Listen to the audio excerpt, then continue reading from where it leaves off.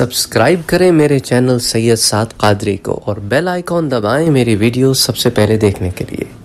السلام علیکم ورحمۃ اللہ وبرکاتہ۔ ایک اور حدیث جسے بہت زیادہ غلط انداز میں پیش کیا جاتا ہے، وہ حضرت معاویہ رضی اللہ تعالی عنہ کا۔ حضرت سعد رضی اللہ تعالی عنہ سے وہ مکالمہ جس میں حضرت علی کرم اللہ وجہ کی ذات کے بارے میں سوال تھا۔ مسلم شریف کی یہ روایت ہے، درجہ صحیح کی یہ روایت ہے، لیکن اس کو بیان اس انداز میں کیا جاتا ہے کہ اس کے جو تاثر ہے وہ بڑا غلط پہنچتا ہے۔ یہ اسی طرح ہے جیسا کہ اگر میں آپ کو ایک بات بتانے سے پہلے یہ بتاؤں کہ جس شخص کے بارے میں بات بتا رہا ہوں، وہ اچھا آدمی نہیں ہے۔ تو اب جب میں واقعہ بتاؤں گا تو اس واقعے کے ہر اینگل میں جب اس شخص کا ذکر آئے گا، آپ کے ذہن میں اس کا کوئی نیگیٹو پہلو ہی نکلے گا۔ اور یہی وجہ ہے کہ جب اس حدیث کو بیان کیا جاتا ہے اور اس کی صحیح شرح کے ساتھ نہیں بیان کیا جاتا اور چونکہ دماغ آلریڈی اتنے زیادہ پلوٹڈ ہو چکے ہیں حضرت معاویہ رضی اللہ تعالی عنہ سے کہ پھر وہ اس کو غلط معنو ہی میں لیا جاتا ہے۔ اور اللہ بچائے ان لوگوں سے جنہوں نے دین کو خود ہی گھر میں سمجھنے کو ہی ایک اصل سمجھ لیا ہے اور دین میں انجینئرنگ کرتے ہیں، تو انہوں نے بھی پھر ان چیزوں کو اپنی کم فہمی میں بڑے تروڑ مروڑ کے پیش کیا ہے۔ اللہ ہدایت دے، ہم تو سب کی ہدایت کی دعا کرتے ہیں اور چیزوں کو غلط انداز میں پیش کرتے ہیں، کیونکہ علم اور صحیح ذرائع سے علم جو ہے اور پازیٹیو علم جو ہے، وہ بڑا ضروری ہوتا ہے۔ بہرحال، کہنے کا مقصد ہے کہ اب اس روایت کی طرف آتے ہیں، جو مسلم شریف کی روایت ہے، حضرت سعد ابن ابی وقاص سے مروی۔ پہلے روایت آپ کو پیش کرتا ہوں اور اس کو نا پہلی دفعہ زندگی میں کھلے دماغ سے ایز اے روایت لیں۔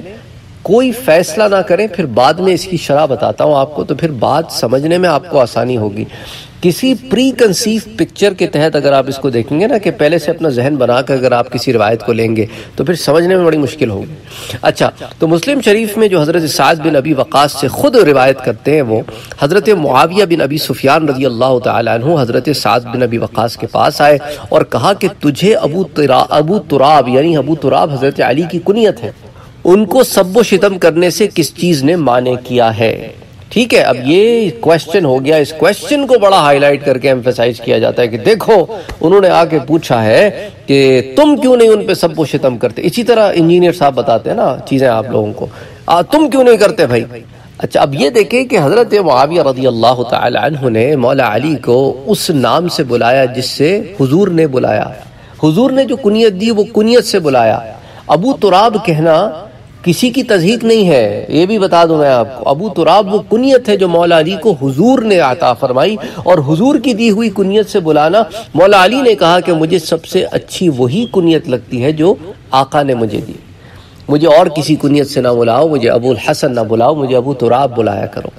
تو حضرت معاویہ نے حضرت علی کے لیے وہ کنیت کا استعمال کیا اس روایت میں جو حضرت علی کو خود پسند ہے۔ اچھا اب یہ جو لفظ ہے نا، تم سب وہ شتم کیوں نہیں کرتے؟ اس کو پیش کیسے کیا جاتا ہے؟ سب کرتے ہیں، تم کیوں نہیں کرتے بھائی؟ ایسے پیش کیا جاتا ہے۔ حالانکہ اس کا مقصد یہ ہرگز نہیں تھا۔ مقصد بھی بیان کروں گا میں آپ کو۔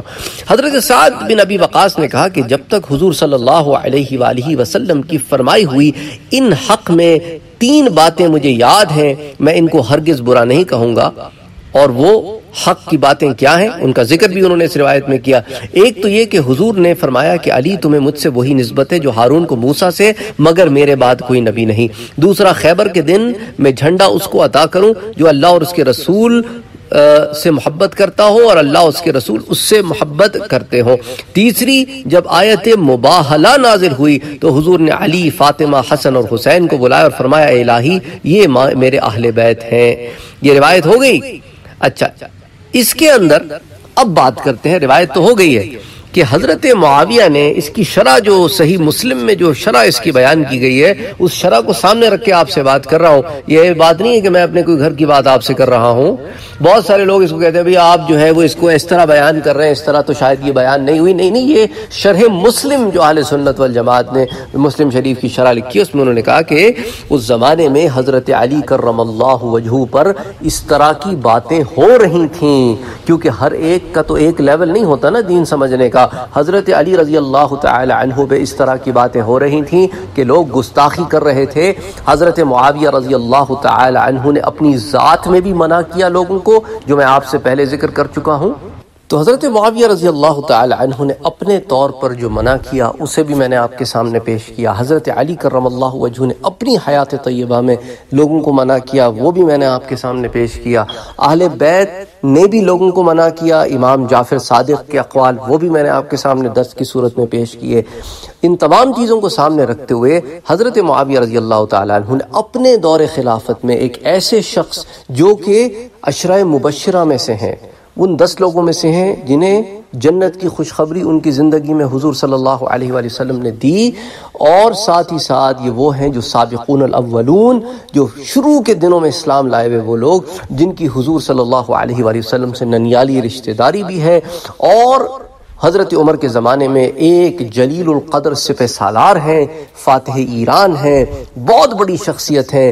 اور حضرت علی اور حضرت معاویہ کے معاملے میں غیر جانبدار رہے تو حضرت معاویہ رضی اللہ تعالی عنہ نے چاہا کہ لوگ حضرت سعد ابن ابی وقاص کی زبان سے سنیں کہ اس جلیل القدر صحابی حضرت علی رضی اللہ تعالی عنہ کے بارے میں اپنی زبانوں سے اتنا ادب کیوں رکھتے ہیں؟ اس کی وجہ تاکہ سب سن لے۔ اس لیے حضرت سعد سے یہ سوال کیا۔ اس لیے نہیں کیا کہ تم کیوں نہیں کرتے؟ تمہیں بھی کرنا چاہیے بھائی۔ ساروں کو میں نے حکم دیا۔ اس رنگ میں جو پیش کیا جاتا ہے، یہ رنگ میں پیش کرنا غلط ہے۔ اسی لیے آپ نے کہا کہ تم بیان کرو کہ تمہیں کیا چیز مانے ہے۔ آپ نے سوال کیا ہے، حکم نہیں دیا۔ اسی سوال کو ایشو بناتے بنایا جاتا ہے، کیونکہ ذہن صاف نہیں ہے۔ آپ نے حضرت علی کو سب و شتم کرنے کا نہیں کہا۔ حضرت علی کو معاذ اللہ گالی دینے کے لیے نہیں کہا۔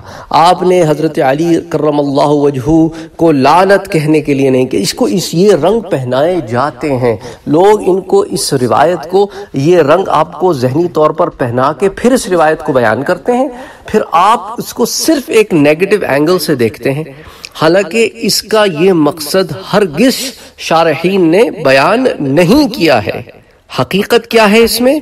حقیقت وہی ہے جو میں نے آپ کو بیان کیا کہ حضرت علی کرم اللہ وجہ کی فضیلت بیان کروانا تھا ایک اعلیٰ درجے کے صحابی کی زبان سے تاکہ لوگوں کو حضرت علی کا مقام پتا چل جائے کہ حضرت علی کون ہیں۔ حضرت معاویہ رضی اللہ تعالیٰ عنہ نے اگر یہ اقدام کرنا ہوتا کہ حضرت علی کی برائی کرنی ہوتی تو حج کے زمانے میں کرتے ممبر پہ کرتے، حضرت سعد رضی اللہ تعالیٰ عنہ سے یوں پوچھواتے نا، تو پوچھوانے کا مقصد وہ میں نے آپ کے سامنے بیان کر دیا تاکہ لوگ اس سے باز رہیں اور اصل بات ان کے سامنے آئے کہ حضرت علی کرم اللہ وجہ کا مقام کیا ہے۔ اس لیے سبب مانع دریافت کیا، نہ کہ ان پر کوئی حکم لگایا۔ اور حضرت علی کرم اللہ وجہ کو ان کی کنیت ابو تراب سے ذکر کیا۔ اور ایسا کرنا کوئی ناپسندیدہ عمل نہیں، بلکہ حضرت علی کے اپنے نزدیک پسندیدہ عمل ہے۔ اس لیے خدا کے لیے روایتوں کو اپنی مرضی کا رنگ دے کر متعصبانہ طور پر پیش نہ کیا کریں۔ یہی وجہ ہے کہ اس تعصب ہی کی وجہ سے اہل سنت والجماعت تو الحمدللہ الحمدللہ، ہمیشہ اس مسئلے کو یہی بیان کیا ہے حق کے ساتھ، لیکن علم کی کمی کی وجہ سے اور بعض دوسرے فرقوں کے پروپیگنڈے کی وجہ سے یہ معاملات اتنے گڑ مٹ ہو گئے ہیں۔ پھر اہل سنت میں بھی کچھ لوگ نکل کے بالکل خارجیوں کے راستے پر چل پڑے ہیں ناسبیوں کے راستے پہ، رافدیوں کے راستے پہ چل پڑے ہیں۔ تو اس کی وجہ سے بھی معاملات خلط ملت ہو گئے ہیں۔ لوگ اب سوشل میڈیا میں تو پتہ ہی نہیں ہوتا کس کو سن رہے ہیں۔ کسی کو بھی سن لیتے ہیں، کوئی کچھ بھی بول دیتا ہے، اس کی جے جے ہو جاتی ہے، اس کی واہ واہ ہو جاتی ہے۔ اور آگے چونکہ وہ مشہور ہو جاتا ہے، کسی کے لاکھ، دو لاکھ، چار لاکھ، پانچ لاکھ، دس لاکھ سبسکرائبر ہو گئے، تو وہ جناب حق کی دلیل بن گیا۔ یہ حق کی دلیل یہ نہیں ہوتی۔ حق کی دلیل قرآن اور سنت ہوتی ہے۔ زیادہ لوگوں کا کہیں جمع ہو جانا یہ حق کی دلیل نہیں ہے۔ بہت سارے لوگ تو قادیانیوں کے پیچھے بھی جمع ہیں۔ تو معاذ اللہ وہ حق کی دلیل ہو گئے۔ اللہ نہ کرے، اللہ نہ کرے۔ اس طرح بہت سارے لوگ جو ہے وہ پرویزی بھی ہو گئے ہیں۔ تو کیا وہ حق کی دلیل ہو گئے؟ ہرگز نہیں ہوئے۔ اسی طرح بہت سارے لوگ وہ گوہر شاہی فرقے کو بھی فالو کرتے ہیں۔ وہ بھی ایک گمراہ فرقہ ہے، تو کیا ان کو فالو کرنا شروع ہو گئے تو حق کی دلیل ہو گئے ہیں؟ ہرگز ایسی کوئی حق کی دلیل نہیں ہوئے۔ تو بہرحال کہنے کا مقصد یہ ہے کہ اپنے ذہنوں کو صاف کریں، اپنے ذہنوں کو پاک کریں۔ آپ صحابہ کی بات کر رہے ہیں، کسی عام میرے تیرے کی بات نہیں کر رہے ہیں۔ اور پھر دوسروں کے بارے میں اتنی فکر اتنی فکر، اپنی فکر کتنی ہے بھائی؟ ہم سے ہمارے اعمال کا حساب کتاب ہوگا، ان کے اعمال کا حساب کتاب ہم سے نہیں ہوگا، بس یہی اپنے پلو سے باندھ لو۔ اور اگر خدا نہ کرے پکڑ ہو گئی اس معاملے میں کہ تم نے میرے اصحاب رسول کے صحابہ کے بارے میں یہ بات کیوں کہی؟ حالانکہ میں نے اپنے رسول سے کہا تھا کہ تمہیں اور تمہارے صحابہ کو میں نے چنا ہے۔ حضور کی اپنی روایت ہے کہ اللہ نے مجھے چنا اور میرے لیے میرے صحابہ کو چنا اور بعض کو میرا رشتہ دار بنا دیا اور بعض کو میرا ساتھی بنا دیا۔ تو جن کو رب نے چنا، تو کیا تم رب کے چناؤ کے اوپر انگلی اٹھاتے ہو؟ اچھا ایک اور حدیث یہ آپ کو اکثر کوٹ کرتے ہوئے نظر آئیں گے کہ وہ جو قیامت کے دن حضور کے پاس کچھ لوگ آئیں گے اور حضور کہیں گے، میرے صحابہ ہیں، اور وہ فرشتے کہیں گے، نہیں، آپ کو نہیں پتا آپ کے بعد انہوں نے کیا کیا۔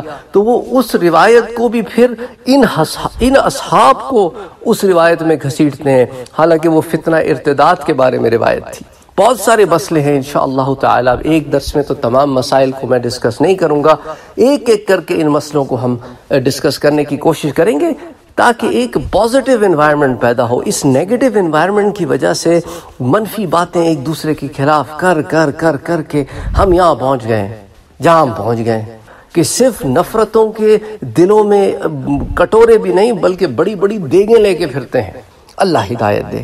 السلام علیکم ورحمۃ اللہ وبرکاتہ. اگر آپ نے ابھی تک ہمارے چینل کو سبسکرائب نہیں کیا ہے تو سبسکرائب کا بٹن دبائیں، بیل کے آئیکن کو پریس کریں تاکہ آپ کو ریگولر نوٹیفیکیشن اپڈیٹ مل سکے اور آپ ہمیں ہمارے لائیو سیشنز میں بھی جوائن کر سکیں۔ ویڈیو پسند آنے کی صورت میں لائک شیئر اور کمنٹ کرنا نہ بھولیں۔